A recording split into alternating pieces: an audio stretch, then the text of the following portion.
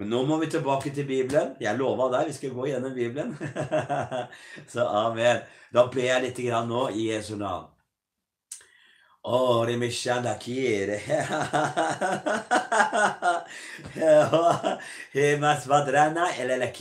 menaria.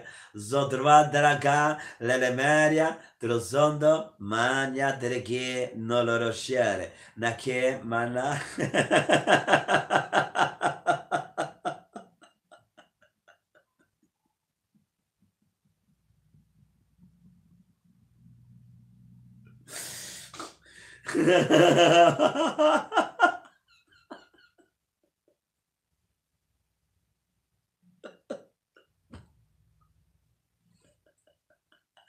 Nå ble jeg treff, jeg er kule.